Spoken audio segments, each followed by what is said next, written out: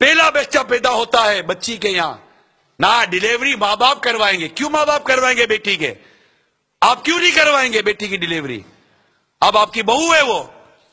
आपकी बीवी है। एक्सपेंसेस आपने बेयर करने हैं। बेटी पैदा हो गई। अब बेटी पैदा होने के बाद माँ बाप क्या देंगे? क्यों माँ बाप देंगे? क्या कसूर किया माँ बाप ने? यही कि आप लोगों के हाथों अपनी बेटी ब्याह दी।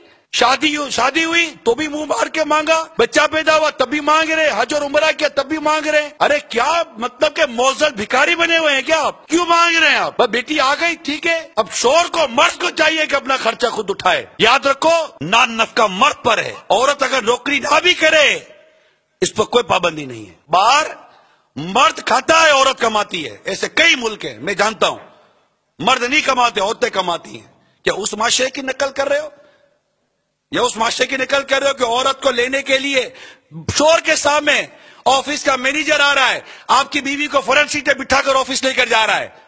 और बीवी के सामने और एक ऑफ़िस की सेक्रेटरी आ रही है और जनाब आपके शोर को अपनी गाड़ी के फ्रंट सीटें बिठा कर लेके जा रही है। क्या इस कल्चर को डेवलप करना चाह रहे हैं आप? औरत के लिए चादर और चार दीवारी है। अगर औरत मजबूरी के तहत जॉब करना चाहे भी तो उसकी शरायतें पर्दे की, इज़्ज़त की, इफ्फत की, हिफाजत की, सारी शर्तें हैं।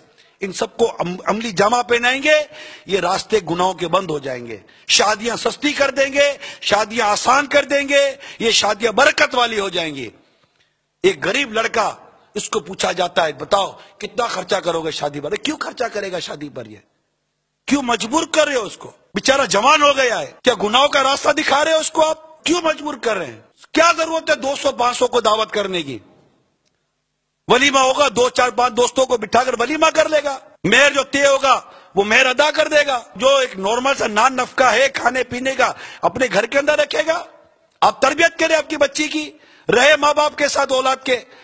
अपने शोर के माँ बाप के साथ अच्छे तरीके से रहे, शोर की इतात करे फरमा बरदारी करे, इसको भी इस्लाम ने इस रिश्ते को भी बयान किया है। शोर के, बीवी के रिश्ते को बयान किया है, ताकि हमारा घर अमन का घेवारा बना रहे।